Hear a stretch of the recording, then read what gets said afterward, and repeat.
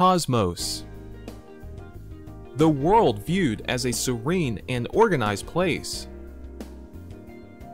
In observance of the cosmos of life, everything that is born must also die. The sun and the moon share the sky in order to keep the cosmos in balance.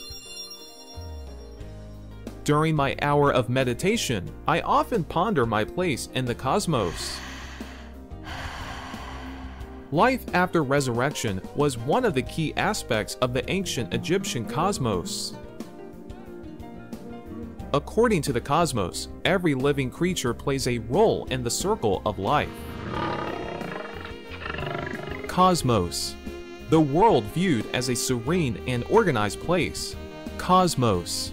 The world viewed as a serene and organized place.